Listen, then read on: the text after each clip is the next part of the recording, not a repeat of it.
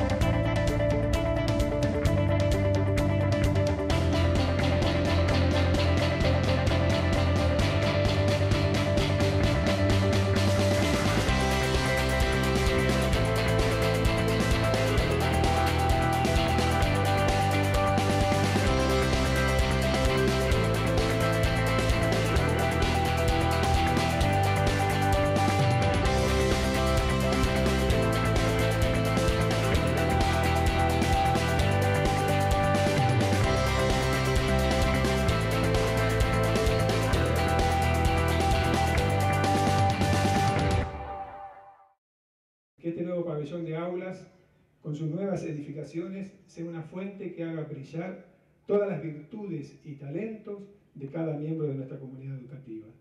El corte de cinta representará no solo la cristalización de un sueño, sino que simbolizará un momento de unión de los anhelos de nuestro pasado con la riqueza de nuestro presente y la esperanza por un futuro mejor. Un gran agradecimiento a los secretarios que me acompañan, que han hecho posible que en tiempo récord se pueda terminar como correspondía a nuestro compromiso ante la CONIAU, este pabellón que alberga los estudiantes del primer año de la carrera de medicina.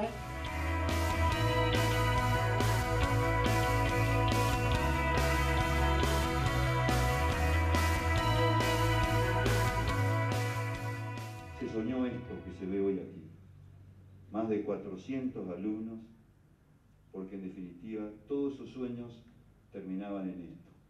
Alumnos con la posibilidad de ser médicos, que no es otra cosa que igualar las condiciones de posibilidad de los seres humanos, concebir a la educación como una oportunidad de libertad, más en esta ciudad que es la ciudad de Teresa Rato.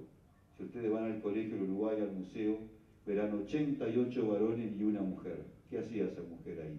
Fue la primer bachiller del colegio, fue la primer médica enterriana y la segunda médica argentina.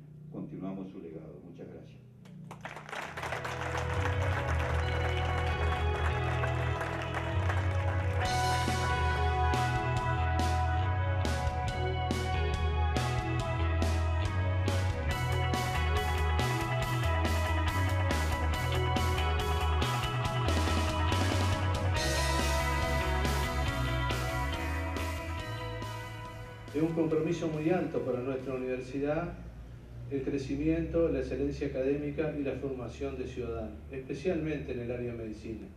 Necesitamos médicos comprometidos socialmente con nuestro territorio, con nuestro pueblo y nuestra institución debe permanentemente tener en cuenta esta situación. Así que los invito a dejar inaugurada la sala eh, que estamos construyendo. Muchas gracias.